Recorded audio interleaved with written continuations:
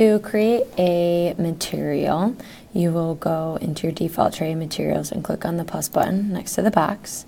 Name your material, so I'm going to do shiplap. And then I'm going to click on the folder and I'm going to find my image.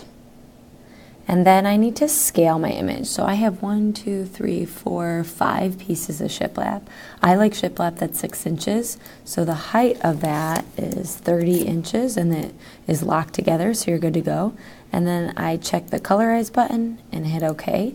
That automatically brings me into the paint bucket tool, or you can grab it up here.